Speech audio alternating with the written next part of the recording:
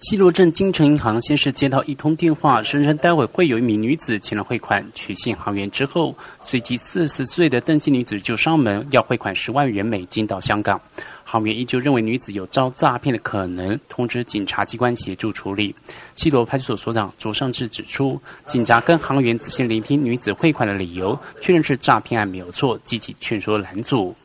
就要给他的女朋友。就要释放出一个名额给他的的亲人，然后请他安排一位亲人呢，来签签这个六合彩，然后来诈领奖金。那当然，这个被害女子就不疑有他，她一方面也是恋爱中意乱情迷哦，也财迷心窍，她就深信这名男子的话。